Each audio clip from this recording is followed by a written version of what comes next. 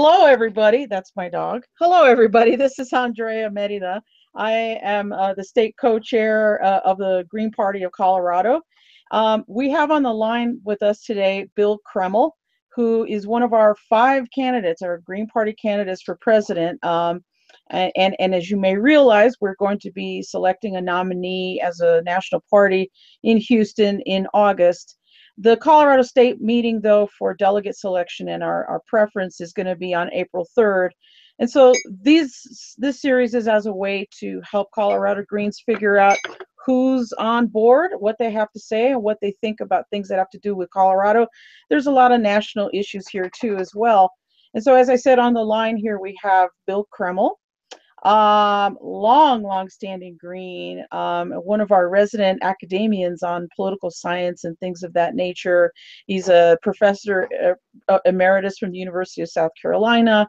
Uh, he holds a doctorate from Indiana University. Uh, a JD from Northwestern. This is an extremely learned individual, an author of several books.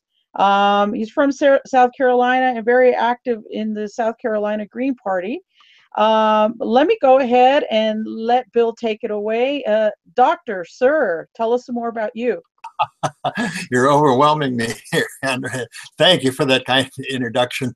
And I just want to say a few words to get started. First of all, I fully understand that Jill Stein is going to be our candidate, and I'm thrilled. Okay.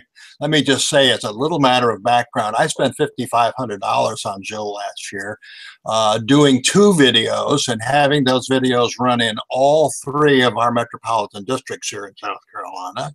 Only three of the Confederate states beat the, the percentage that I was able to get here in South Carolina for her.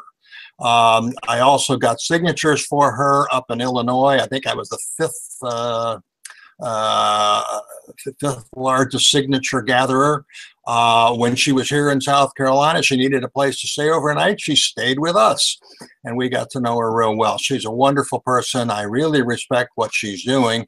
And the only reason I'm involved in this is because there's an issue or two that she's choosing not to touch on which is her want. I mean, she's entitled to run on what she wants to run on, and she's doing a wonderful job with the issues that she is dealing with. Um, I am interested in some slightly different things, and we'll we'll certainly get into that. Um, but the point is, I support Jill, and what I'm asking uh, uh, many states to do is to think about giving me a single delegate because the kinds of changes I'm talking about are constitutional and something that, uh, that during the hour I'll have an opportunity to talk about. Um, our government doesn't work. I don't think that's a big surprise, but I have been involved both as an academic, uh, researching, writing, uh, giving speeches, writing essays, um, uh, that kind of thing, running for office several times, talking about the American political system and why it is failing us and why we need to do some fundamental, that is, constitutional changes. So that's why I'm here, okay? And that's something that Jill isn't dealing with, which is fine. Um, you know, it's a nice, uh, nice uh, division of labor, really. Um, I also may say a word or two about what I think is a coming ideology, but that's going to be very brief. Uh, so that's what I'm doing, and uh, I, I, appreciate the opportunity to come uh, uh to uh, to uh, Colorado through this this meeting. I, um, I, I love Colorado. I remember as a little kid, my father took me out to Denver, and then we went up to the mountains. It was just a very very pretty place. Well, of course, we're in love with Colorado too. So thank you for that. You know, what's it's really interesting that the the tack you're taking. Uh, one of the questions that was asked by some of our folks uh, that are uh, submitting questions uh, was was you know centered around the tenor of the debate that we see in the duopoly parties right now, and certainly your your your attitude is a lot more collaborative than what we've seen. Um, assuming that you become president, uh, what would you do to change the level of discourse, the, the probably acerbic nature of the discourse that we're seeing um, in Washington these days? Let me say this. Um, the fact that we have the kind of polarization and the kind of rancor that we are now seeing should not be a surprise because part of the reason for it is that the government has not been able to deal with issues that have now hung on for years, in some cases, decades. And so people are frustrated. Uh, why didn't we do something?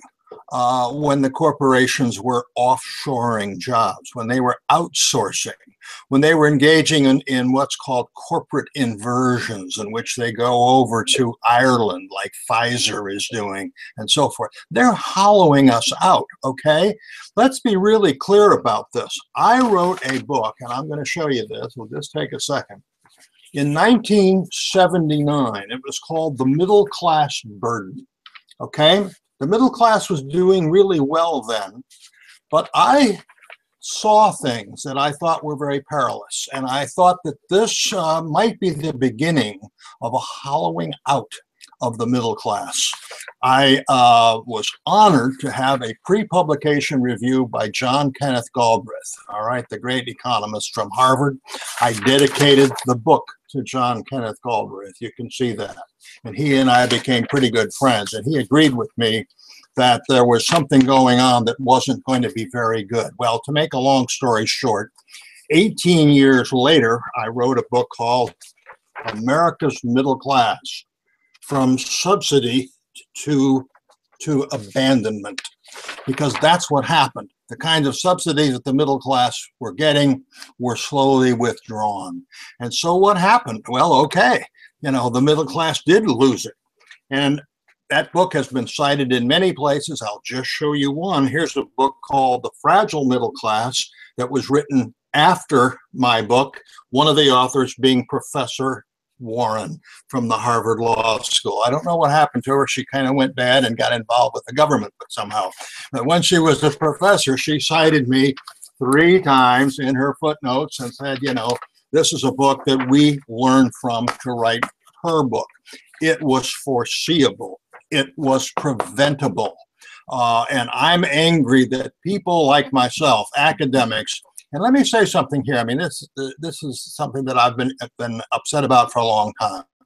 If you go to Europe, there's a great respect for academic work, and people who are professors at universities are at least listened to. It doesn't mean you agree with them, but they're taken seriously. There's a real anti-intellectualism to American politics. Obviously, someone like Trump, you know, is is a gold star uh, member of that. But that's been going on for a long time. I'm old enough to remember Adlai Stevenson. He lost to Eisenhower. Obviously, Eisenhower was very popular, the war general, and all that kind of thing. But the Republicans painted him as an egghead and said he was an intellectual. He'd gone to Princeton, and some of his speeches were rather flowery, and they were attempting to be Churchillian and, you know, this kind of thing. And so, you know, Americans don't like that. Um, and so it's very hard as an academic, even if you're doing serious research, being published by good publishers, being cited by good people, you know, still an awful lot of the uh, practitioners and I'm not talking about just the office holders, but certainly the office holders, the office seekers, the party people, certainly the campaign industry. Don't forget them. They're very influential. The campaign industry itself, they don't want to hear from a college professor. They really don't want to be any deeper than their 30 second spots can deal with, you know? And that's why we have the kind of uh, really not very intelligent conversation. It didn't begin with 2016. We've had a lot of campaigns. Uh, the fact that uh, that John McCain could have chosen someone like Sarah Palin, I mean that kind of thing. But if you go back even before that, George W. Bush. I mean, what did he say? Even if you if you agreed with him, did he say anything of any moment, of any real importance, any depth? No.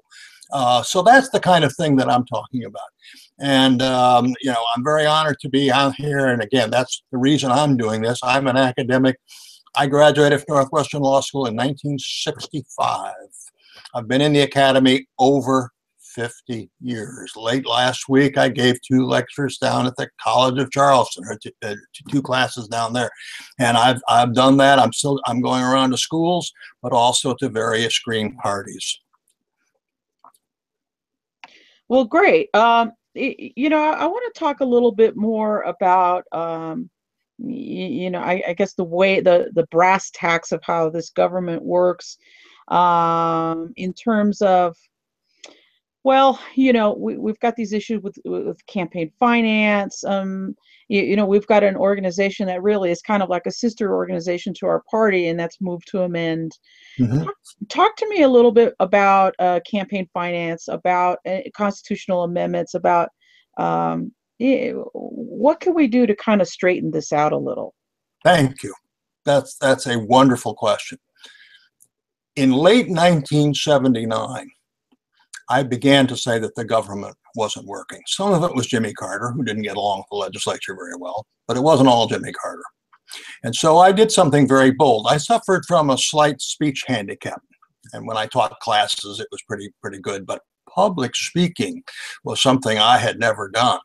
So I went to a speech therapist and paid some some pretty good money. And I entered the 1980 Senate Democratic primary here in South Carolina.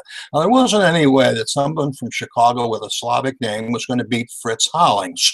But what I did was call for a constitutional uh, constitutional commission at the bicentennial of the Constitution. This is 1980. The bicentennial would be 1987.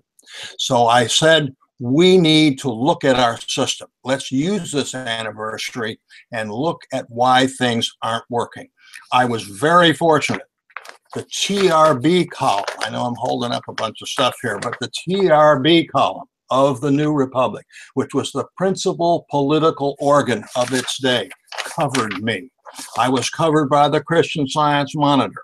There was something in the Washington Post, and so forth and so forth.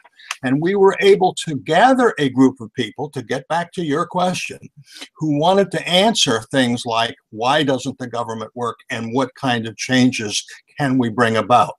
I also, in 1984, took leave without pay, also, did some more speech therapy, and went up to New England and some other states held forums. People like Lester Thurow from MIT, James MacGregor Burns came down from, uh, from uh, Williams College, and so forth.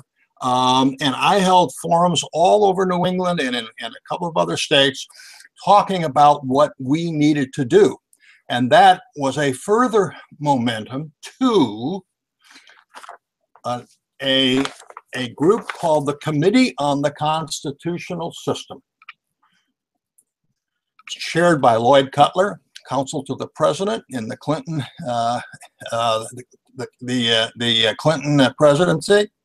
Uh, C. Douglas Dillon was one of the one of the board members who was in both the Eisenhower cabinet and the the John Kennedy cabinet. Nancy Kassebaum, the senator from Kansas, and then academics like James MacGregor Burns, people like Bill Fulbright. Some of you who remember how valiantly. He fought against the Vietnam War. He was one of our people. There were a number of wonderful A-list people in that group, and I helped found that group.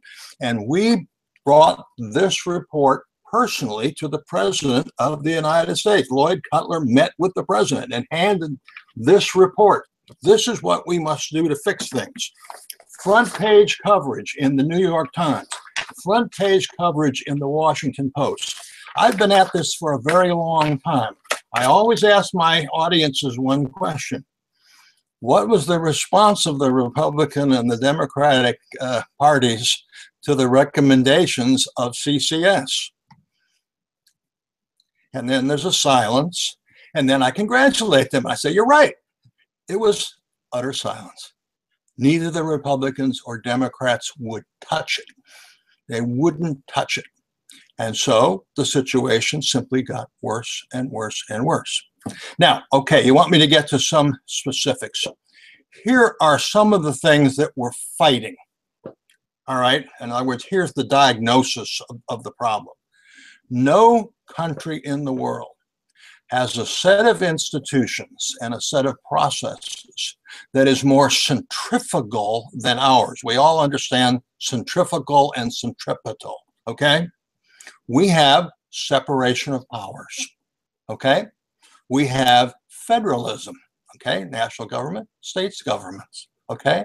We have true bicameralism. Okay? Two co equal houses of our legislature. Most countries don't have that, okay? We have staggered elections. That was done as a very anti-majoritarian strategy so that you, the people could never elect the whole government and go in one ideological direction or, or the other. And finally, and this is something that people don't understand, and I hope to help, uh, help people understand this, we not only have separation of powers, but we have separation of people, which means that if you're in the cabinet, let's say, you cannot serve in, in the Congress. That's been an issue that has been talked about for years. Woodrow Wilson wrote about it in 1879 and suggested that cabinet members should be members of the Senate so that there's some bridge here. Okay? Well, you put those five things together that I just listed, and you have a government that is designed not to work. And it doesn't work. And if you read James Madison's number 10 Federalist, it's very clear. He didn't want majorities to aggregate. They were concerned about what they called factions, which was kind of pre political parties. They didn't want the public involved. This was a document of landed, propertied white males for propertied white males. And they always considered that an elite would run the system. And we still have that as our Constitution. And, you know, once again, it shouldn't be a surprise that we have research from places like Princeton, Northwestern University, other, other good research that we are no longer a constitutional democracy. How sad is that? We are an oligarchy. It goes back to Aristotle. It's an aristocracy gone bad, an aristocracy that only feeds itself. And the correct word, and it's finally being used now, is oligarchy. Once again, foreseeable and preventable. But we didn't do either. And so that's what we're stuck with. And we're fighting the Kochs and we're fighting the Scaifes and we're fighting uh, Sheldon Adelson uh, you know, our country has been bought. It's been bought by a very small handful of people. And um, I see where one of the Walmart uh, daughters, let's, let's not leave the women out here, uh, one of the Walmart daughters just gave a third of a million dollars to Hillary. Um, so, you know, uh, that's really where it is now. And it's a very, very sad thing. Now, well, you know, I, I have to, if I could just kind of add this, you know, the, the, this kind of a situation and the influx of money and that sort of thing, um, you know, people are, are really starting to have a lot of dialogue over. But the part that people don't really be, uh, they don't seem to be able to, to, to zero in on is the why. Why would we as a country sit on our hands um, and, and just not do anything to reform any of this? Well, some of what happened was inadvertent in the sense that it wasn't anybody's specific fault. You had the coming of TV. That's a very important thing. There's always been money in politics. We know Tammany Hall. There were accusations about James Quincy, Ad- John Quincy Adams. You know all that kind of business. Um, but what happened with television is there was an explosion of a need for money. But also, and this is very important, there have been some outrageously bad Supreme Court judgments, opinions. It didn't start with uh, with uh, Citizens United. Okay, it started many years ago with a uh, a case in which the opinion was written by Lewis Powell. Some of you will, remember reading about Lewis Powell. He wrote the memorandum, it's known as the Lewis Powell Memorandum, ostensibly for the Chamber of Commerce, but it was used principally by Nixon and Pat Buchanan and those people to take the country back from the lefties who they thought had taken the country over in the 1960s. All right? That was Lewis Powell. Virginia aristocracy, FFV, you know, first families and all that. Guess who got appointed to the Supreme Court. Oh, Lewis Powell.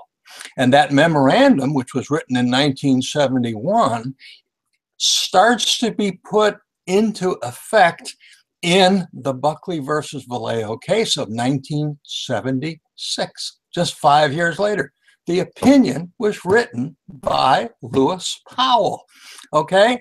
And it was it was a crack in the door, the camel's nose under the tent, in which Powell made the utterly specious distinction between contributions and expenditures and said, well, the Congress can legislate on contributions, but not on expenditures. So if you had independent expenditures where I don't talk to you as, as the candidate, okay, I can spend all I want, okay? Or the candidate himself or herself can spend all he or she wants. That was the crack in the door.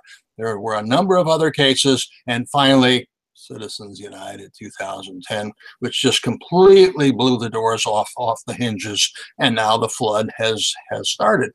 Um, that's part of the reason too. So I mean, these kinds of things happen. The public had a sense of it, but there was a momentum to it, and let's be honest, the elites wanted that. Okay, you know, that's the answer to your question, really, is that there were people in this country who really wanted this to take place. They were behind people like Lewis Powell. They were behind people like Ronald Reagan. What did Ronald Reagan do? I mean, my goodness, as soon as he became president, the 1981 tax cut greatly favored the rich. And then people said, you know, Ronnie, we're running these terrible deficits. And you know what Ronnie said? He said, you're, you're right. So what did he do? He raised the uh, tax on workers, the Social Security tax. Okay, that was raised to make up the deficit. Well, of course, that was highly regressive. Okay, so you know he screwed us twice within two years. Uh, those are the kinds of things that have happened. There's more to it, but those are three at least to answer your question as to how we got here. So it sounds really the impetus is a consolidation of power by people who already had it. Is that a summary? It's it's by consolidation of power people who had it and who wanted the kind of system where only certain people really were important. And they saw themselves in part, but also people of like mind. Um, you know, it's the old battle between democracy and aristocracy. I, I, you know, I spend a lot of time with students and with people I talk to. I say, read the Gettysburg, the Gettysburg Address. What does the Gettysburg uh, Address speak to? It doesn't speak to the North and South. You won't see anything about the North and South in there. The whole idea is uh, our founders founded a new nation. Remember that?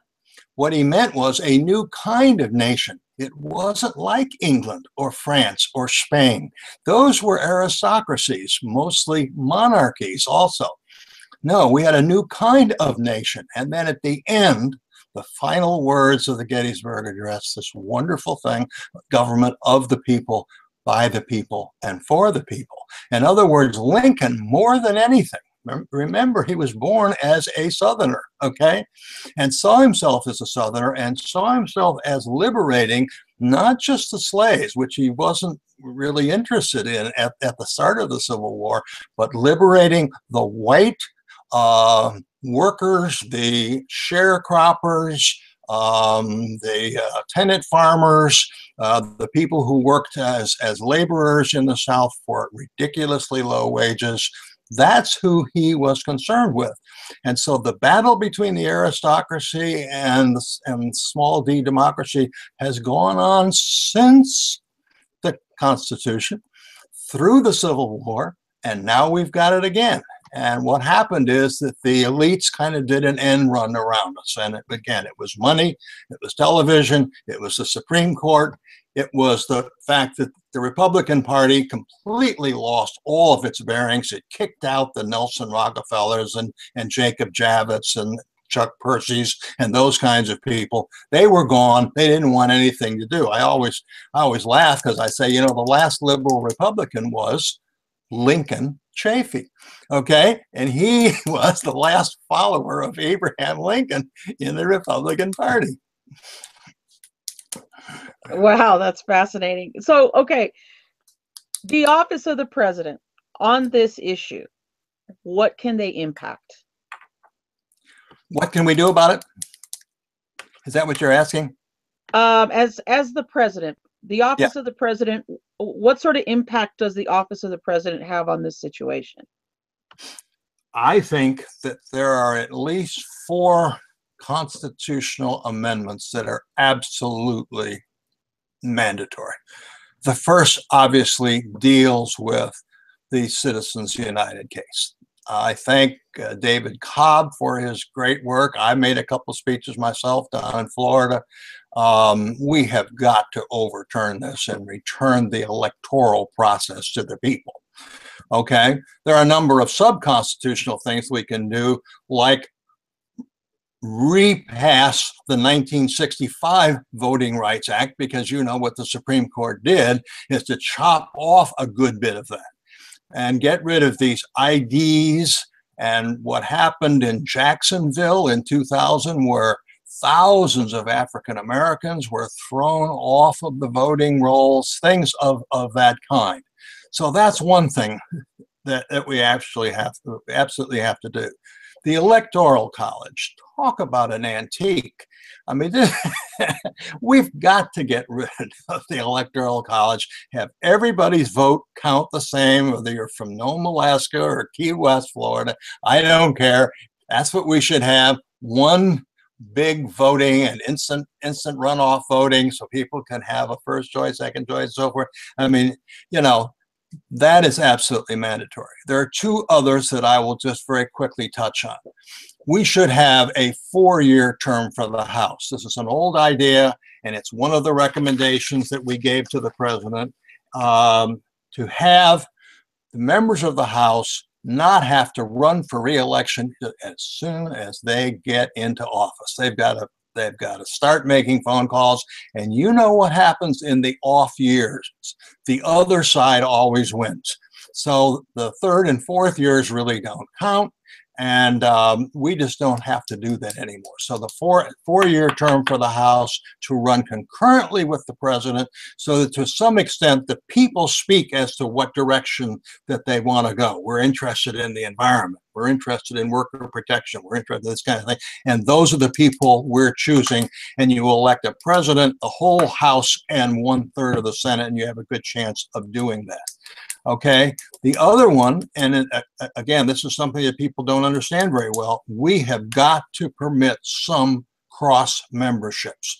The old Woodrow Wilson idea of having people who have been, who, who are in the cabinet being able to serve in the Senate, maybe the House. You know, there are different ways to do it, but there has got to be some bridge. We have no bridge at all. Now, every once in a while, just to finish this point, there's someone who says, well, we should go to the full European parliamentary systems. It's tempting. It's te- and there are times when I get so frustrated, I say, let's just do it. You know, they take take the United Kingdom, Great Britain, and, and do. We are a, a country of uh, over 320 million people, a very heterogeneous country, a very large country. I'm not sure that a, that a European style parliamentary system would work here. Those are smaller countries, more homogeneous populations, so it's a, it's a different kind of thing. But this is a way to go part way to a parliamentary government. Um, if if you want a, uh, a, a metaphor on this, I don't know how many of you have sailed, but if you put your bow directly into the wind, you don't go anywhere. Your sail just does this. It's it's called luffing. Okay, we are going to have to admit that for some period of time, the other side might win an election and permit the kind of ideological tacking, okay, ideological tacking that gets us to where we need to go. We have been stalemated for far too long. And that stalemate, I guess, is, is the current, uh, you know, do nothing Congress, for example, where, you know, it's it's a Congress of political points and, and not a whole lot of work being done on behalf of the of the American people. So that's that's an important point to make. I, I want to switch gears a little bit though, and I want to talk in terms of economic systems. Mm-hmm. Um, are, are, you aware of the um, proposed Plank update for economic yes. system? Okay. Yes. yes uh, go go ahead. Go ahead. No, I, I, I fully favor it. I, I, have to be brutally honest with you. I have moved beyond the terms of capitalism and socialism. All right, they're important. They're important historically. We certainly don't want to forget them. But there are other ways to look at it, and there are ways to talk about the thing uh, in ways that are a little bit less jarring to the public. I'm not going to give an academic lecture here, but John Stuart Mill, contra Marx, said that the principal uh, determinant of the distributions of income and wealth are not economic in the first instance, they're cultural. The United States is a hyper individualistic country, a, a highly competitive country. We tend to believe in winner take all. That's a cultural thing. So there are ways to talk about this that are not exclusively economic. All right. And uh, the word socialism doesn't bother me. I'm from the upper Midwest. I'm a Central European, uh, Czech, and German. I knew Frank Zeidler, the last socialist mayor of Milwaukee, Wisconsin, a wonderful man. And uh, we lived up in northern Illinois, and I went up there and met him one day. It was just fantastic. So socialism doesn't bother me. But there are certain regions in the country, I hope all my windows are closed, uh, who are not quite ready for, for socialism. Uh, but, you know, yes, I certainly in spirit, and I'm willing to go along with that with the idea that there are other things we ought to be doing in that same area.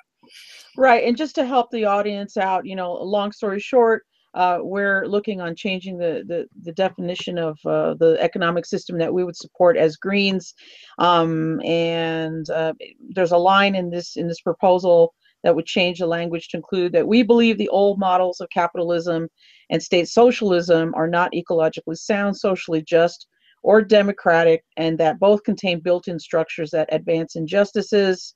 Uh, instead, we're talking about large scale public works, municipalities, uh, deprivatization, if I could, workplace. Right workplace right. and community democracy. And actually, these are not concepts that are strange to Colorado um, at all. I, I raised a couple of uh, examples that we have here of worker owned collaboratives, which we don't even have to talk about the word socialism, but basically, these are democratically run workplaces. We have a brewery yes. here called Left Hand Brewery that's um, in, in, the Fort Collins area, um, mm-hmm. worker owned mm-hmm. collaborative. We have another one here in Denver that's a print shop that uh, uh, it's called P&L Printing, also worker-owned collaborative, both democratically run run workplaces. And you know, um, eh, we, we, don't necessarily have to go to uh, a Paris Commune sort of a situation.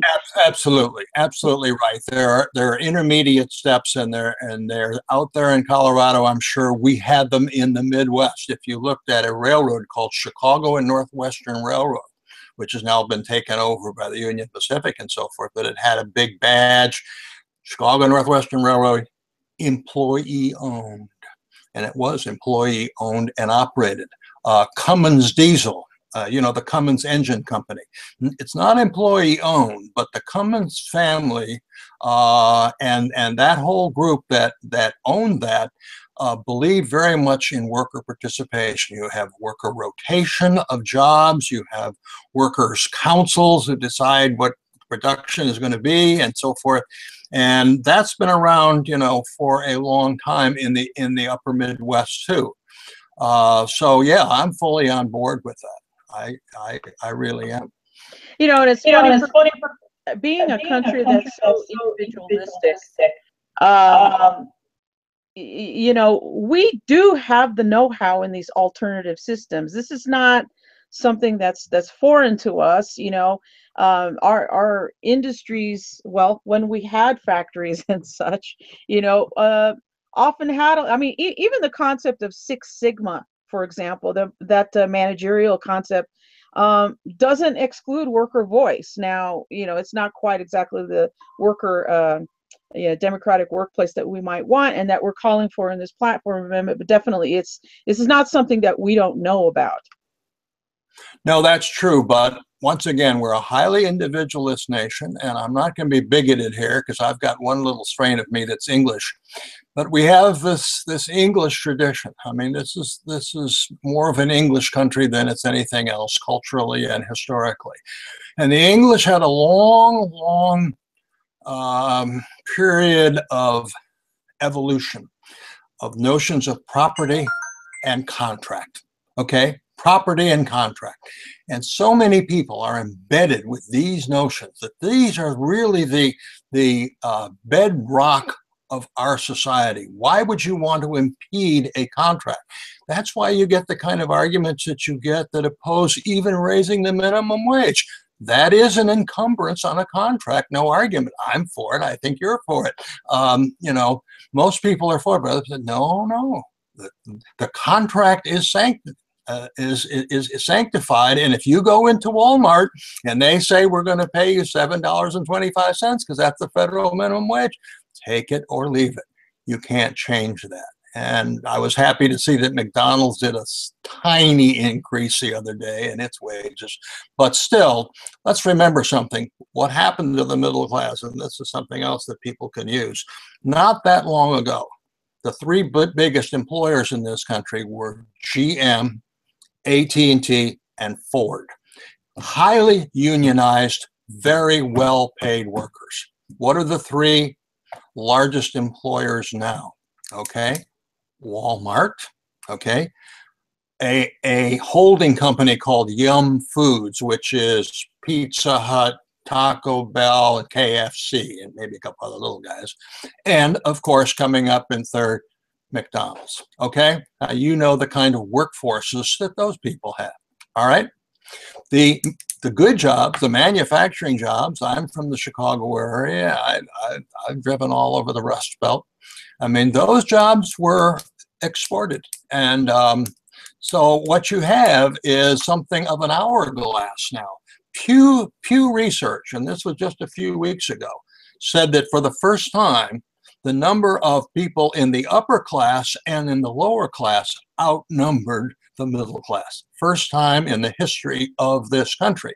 And of course, the difference between the upper class and the lower class is pretty clear, as the upper class very small. But still, you know, instead of the Coke bottle, you now have an hourglass. And and that's that's what's happened. Right. You know, and, and I'm going to pivot to another uh, topic that's actually related to our current ec- economic state. Um, you know, Denver and Boulder are two municipalities here in Colorado that are among the group uh, in nationally that have passed what we call, um, you know, camping bans, and, and and some would even say that it's a criminalization of homelessness, in which if yeah. you are if you're a person that you know you, you can't uh, occupy a park bench and have some sort of covering on you like a I blanket saw, or a sleeping bag saw, isn't that unbelievable? If you have a blanket or anything no you can't you can't do it. Well the, the whole homelessness question is just outrageous in this country. And as everybody should know if they don't know there are more empty houses than there are homeless people. Now some of the places should be torn down. They're, they're uh, it can't be repaired. But many of those homes, a little bit of work, which you could give to the people who are going to move in, it's a win win. They have a job and then they have a house. It just hasn't been done. And let me tell you, the use of eminent domain in this country is a disgrace. It goes back to the kings of England. Everything ultimately belonged to the king, and if he needed your place for, you know, whatever. But we have had the worst abuses of it. And let me tell you a very personal story. And this isn't something I'm very happy to talk about. I'm usually very sad about it. I don't tell a lot of people, but this is so relevant. My father worked for uh, for uh, Northwestern University. We lived right off the campus. One day, Northwestern University decided that they wanted to expand. They called a neighborhood meeting.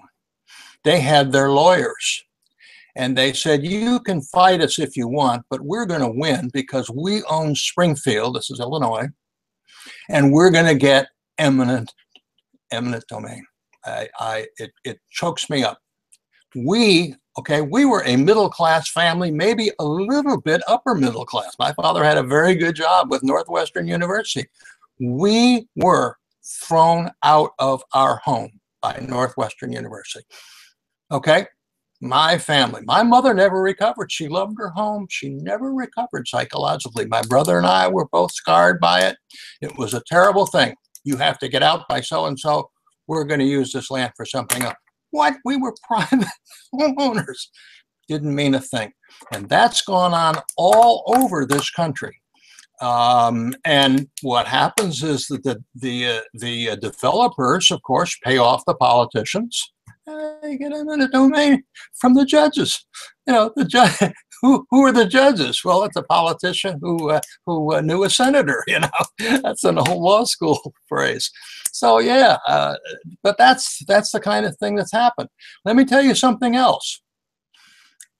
When Bill Clinton started to do awful things and encourage these banks to give loans that were bad loans. They were loans that had a starter percentage and then there was a balloon at the end or that percentage increased or whatever. You knew that there was something bad that was going to happen. Let me tell you something. I left the Democratic Party in 2000 for a number of reasons, although the Clintons were at the top of the list. Okay. I joined what was a bridge party here, an old civil rights party in South Carolina called the UCP, the United Citizens Party. And I joined that, and we had a good mix of whites and, and blacks and mostly working class people. And in the year 2002, okay, a man by the name of Mark Mark Whittington wanted to run for Congress. And he said he would run. And so, okay, we we voted that he should be our uh, congressional candidate. Guess what? He came to me, and I was a political science professor. He didn't know how much money he had, he didn't know anything.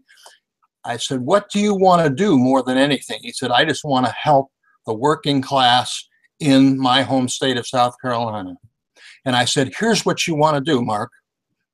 I'll help you we're going to go up to the corner of Trade and Tryon Street in Charlotte, North Carolina, and we're going to picket the national headquarters of the Bank of America. That's what we're going to do. Now, guess what? I have this somewhere. I'm going to show you something because I brought this banner down. I haven't shown it to anybody in years. This is the banner that I had made and that Mark Whittington held, and there were 10 of us. We got 10 UCP people to go up and stand there. Okay, I got it upside down. Okay, South Charlotte Banks, you see it? Charlotte Banks, Bleed, South Carolina. Okay, I made videos of it and I ran videos on five cable stations. We got over 10% of the vote. If your folks listening in, if your folks listening in have an iPad or whatever, look up the United Citizens Party and go down to one line. In 2002, Mark Whittington ran for the second congressional district in South Carolina, got 10%, over 10% of the vote after picketing the national headquarters of the Bank of America. Now, that's how conscious I was at an early, early time that this was going to hurt people, that there were going to be foreclosures, there were going to be divorces and suicides, and families would be broken up. Everybody who looked at it honestly should have come to that conclusion. The Republicans and Democrats wouldn't touch it. But Whittington bought it. He thought this was a, a, a you know, really um, you know, impactful way to show people how the banks were screwing people. And we went up there and we talked to the police captain and we got a permit and all this kind of thing. And we did it. We had South Carolina flags and that banner. And as I say, I ran the video on five cable stations and we got over 10% of the vote. Please look that up. The United Citizens Party 2002. That, that's fabulous. Well, what do you think of um, the method to kind of turn eminent domain on its ear that uh, Richmond, California has been doing. Um, uh, Gayle McLaughlin was uh, was the mayor up until recently, and you know now, of course, she's on the city council. But to use eminent domain to take possession of houses that are about to go underwater and mortgage them back out at, at current market value. Tell me, I mean, what do you think of a plan like that? Well, you know, anything that can be done to save people keep them in their home has to be done. I mean, that should be rule one. And there are so many ways that the government can help. I mean, look at look at how irresponsible Fannie Mae and Freddie Mae were. in this whole thing. They were complicit. You know, you can't just bang. Uh, uh, um, um, excuse me. You can't just blame the banks. Bad guys, and they did bad things, but they were encouraged by the government. They were encouraged by the Clintons to engage in that kind of a mortgage. And they got a lot of people involved. As you know, uh, proportionately a large number of African Americans. Um, I mean, th- this fell on on the uh, the uh, Latinx uh, uh, uh, community also. I mean, it was just one of these things where you know they really took took advantage. An awful lot of families in the black community have never recovered from what happened, and that's been over 10 years ago now. Just an out just an outrageous thing because there well I say 10 years I mean there there wasn't the crash until 2008 but you could see it coming and there were some people who were already having trouble making their payments even before 2008 Right. You know, right. I, I, I, was a school board member um, in, in 2009, and the district that I represented was a, you know, a primarily Latino community, uh, working class community. And when the foreclosures and the the bad mortgages hit, you could just you could see whole blocks being hollowed out, and you would see school populations just kind of being, you know, cut down because you know the people weren't there anymore. Um, but I want to ask a, a, pivot again to another question. It's this this issue of of, of peace, um, and, and, it's a preoccupation, obviously, that not just Greens have. Uh, what can the office of the president do to motivate and to ensure lasting peace? Uh, to motivate and to do what, please? I'm sorry. Uh, well, to motivate and, and move us toward lasting peace? I feel very strongly about this. Um, I may look young, but I'm not. I enlisted in the Army Reserve February 3rd, 1959, over 56 years ago. Okay. My commander in chief was Dwight D. Eisenhower. At that point, we were beginning to see the very, very first inklings of the military industrial complex. They were using the Cold War. They were using the Cold War as an excuse to build empires, which have become McDonnell Douglas and Raytheon and Lockheed, and you know the names, okay? This went on for a very long time. I feel very strongly about it. I was in a psychological warfare unit our mission, everybody has a mission, was a small Spanish speaking island off the coast of Florida. We were under orders to never use the name of the country. Wink, wink. I think we know who we're talking about. Okay. For 17 days, our unit, my unit, was frozen. Uh, we couldn't leave the area because we didn't know if the Russian ships were going to turn around. Okay. I was in uniform when that happened. So I feel very strongly about that. Not only was I in the service, my great grandfather was in the Union Army. He was in the 14th Cavalry in the, uh, the uh, state of Illinois. He was shot by the Confederates in Tennessee in 1864. I'm proud to say I'm an active member of Camp Number One, uh, Sons of Union Veterans. We are not a bunch of Yahoo right wingers. In fact, we're quite peace loving people because we know what our great grandparents went through and we talk about these kinds of things we know what war is, as opposed to these chicken hawks and these neocons who don't really know. None of them ever served. I mean, that whole bunch with Bush, there none of them ever wore the uniform for a single day. And even Bush was AWOL and all that, and they and they covered it up. And when CBS tried to expose it, you know, okay, that's how well protected the military-industrial complex is. Now, let me add one thing because I don't think it's just the military industrial complex anymore. I think what's gone on in what I call, this is my title, the Abrahamic Civil War. What's gone on in the Levant is increasingly a religious war.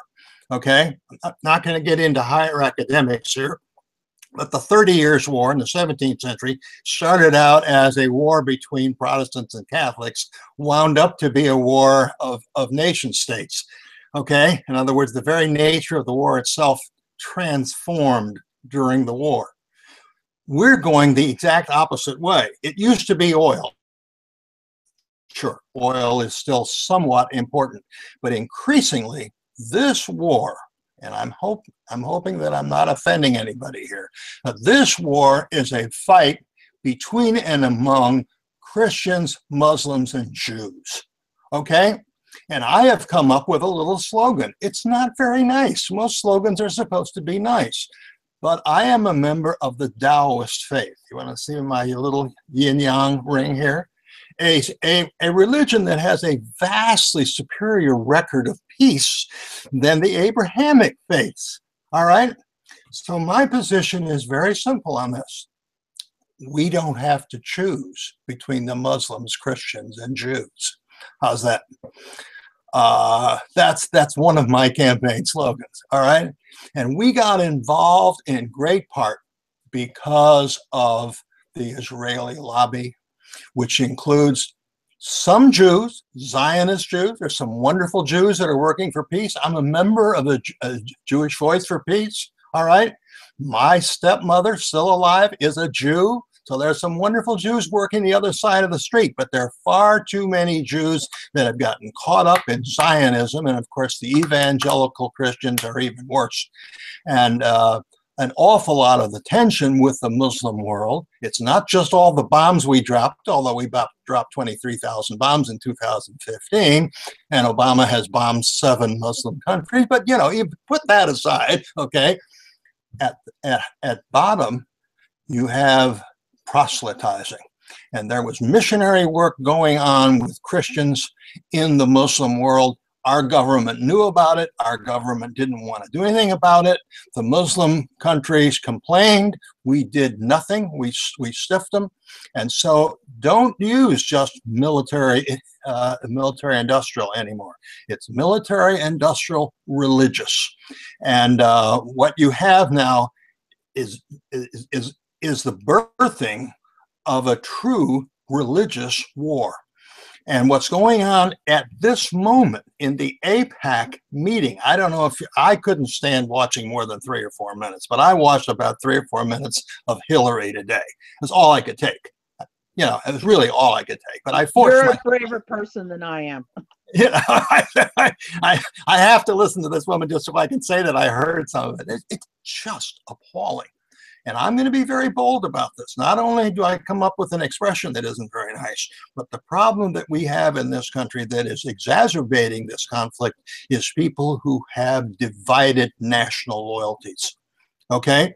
We need to repatriate the word patriotism. Take it away from the right wing yahoos. A true patriot doesn't want us involved in these wars. The Israeli lobby does want us involved and they were very instrumental in George Bush's uh, uh, the invasion of, of, Iraq and all of that. They've been very instrumental, and I don't mean again to to uh, uh attack the Jews because the uh, evangelical Christians are every bit as bad. But if you look at the Kristols and the Podhoretzes and the Feiths and the Frums and Elliott Abrams and all those kinds of people, these are fundamentalist Jews who are in bed with the fundamentalist Christians, and they want to convert the uh, the Muslim heathen, and that's something that you won't find in the New York Times. You won't find it in almost all of of, of the mainstream press, but it's there. Well, it, would you also say that there's a profit motive to this as well? I mean, you, you have companies like uh, formerly SodaStream that were squatting on, uh, you know, Palestinian lands, and there's the issue of the, uh, you know, the colonization, the settlements that are going on, and uh, that sort of thing. I mean, wouldn't you say that's an agitating factor as well? Absolutely, absolutely. It is a, a mix of very bad things. And of course, again, it started with oils. Oil is still important.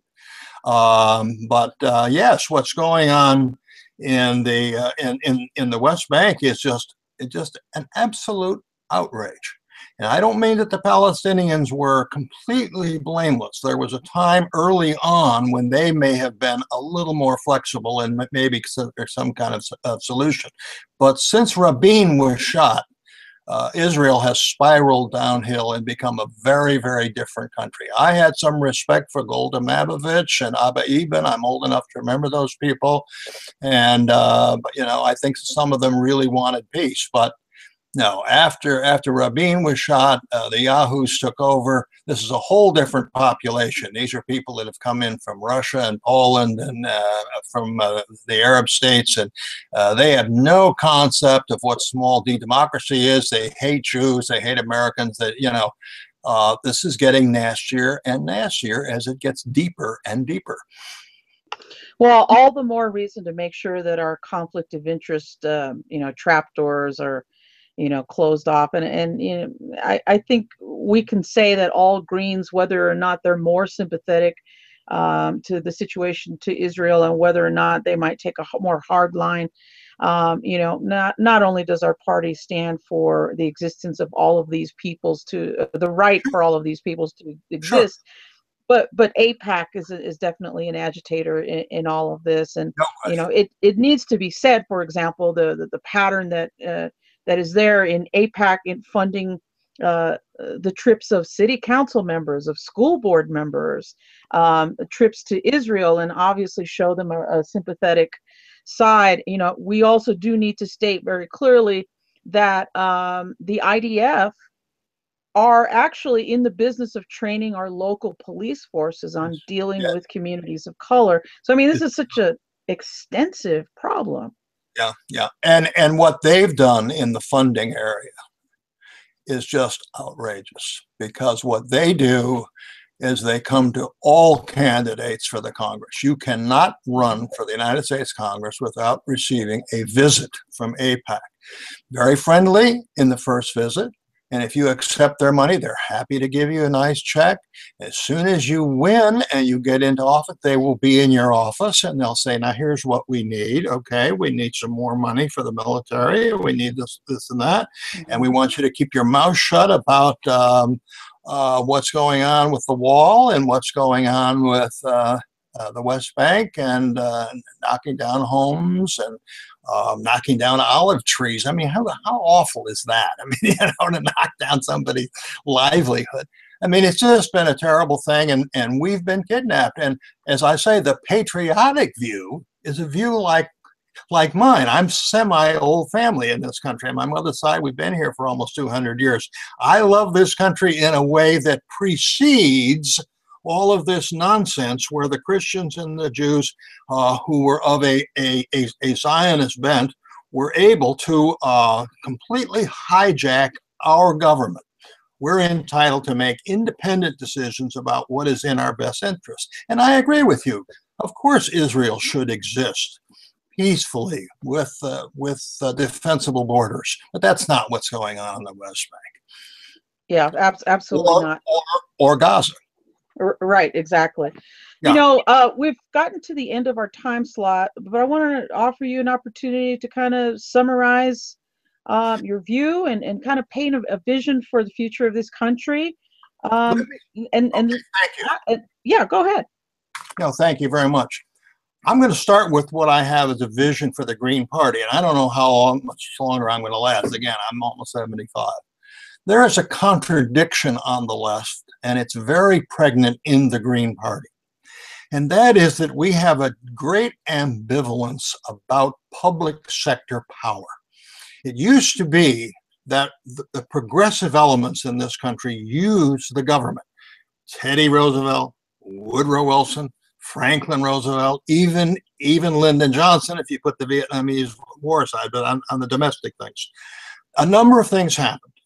Vietnam, Watergate, COINTELPRO, uh, lying and spying, okay, the outright lying about all kinds of things and spying on citizens and all this kind of thing. The left has become very, you know, very chary about wanting governmental power. And that has been part of the reason. I'm not going to blame it on the Green Party because we haven't been very in- influential, unfortunately. But that's part of the reason that an awful lot of people in government and in, in, in, in public life were willing to let the private sector have what it what it wanted. We as Greens have got to stand for public power so that we can withstand you know the long list you know the fossil fuel people the pharmaceutical the insurance wall street the banks the, you know the whole thing. They have just run roughshod over us. And our government i hate to say this our government is very weak. It's a very weak institution. And we are partly complicit in that. So i'm i'm challenging the left and particularly the green party to come to some kind of resolution obviously no one wants an over centralized, overly powerful government. We're not in any danger of that for a good long while, I assure you. We need to strengthen the government. And the kinds of things that we did here will strengthen the government, okay? The four year term and having a legislature where there is some coordination between the executive and legislative branch, getting rid of, of the electoral college, um, overturning Citizens United. Those kinds of constitutional amendments are absolutely necessary. And, and you know, those four, and then some subconstitutional things that have to do with fair districting and uh, all, all kinds of other um, outrages that are, that are going on. There is a long, long um, list of things to do. And the, the agenda requires a strong public sector. And I say that as someone who is a pre 60s uh, figure. All right. I learned my politics in, in the late 40s and in the 50s. And I believed in, in government. And I and I loved Adlai Stevenson, okay, and Harry Truman and people like that. And they believed that the government could do good things. And then that kind of kind of drifted away. Um, right. So thank you very much, Bill. Um, this is actually going to be very, very helpful for the voters, and the Green Party voters in Colorado. Um, and to the people that are watching, uh, we're going to, you can look for us for this video um, and search for Green Party of Colorado. Okay. Um, and, and that's shareable. You can go back and watch the video at any point. We're also going to embed it on our website Wonderful. um, to make to make it available. And you know, just to let everyone know again, our state nominating convention is going to be on April 3rd. You can go to the website at coloradogreenparty.org uh, Okay. to find out the details of that. Um, we are going to have a spot to invite um, our candidates to at least um, come out, come uh, uh, virtually at least in this way to address the assembly. Um, but Dr. Bill, I- Colorado wishes you the best of luck in this campaign and thank you for spending. Thank you very time. much. Please consider one delegate. That's all I ask. Okay, Thank you, Andrea. You've been thank wonderful. you. Alrighty, bye-bye. Goodbye.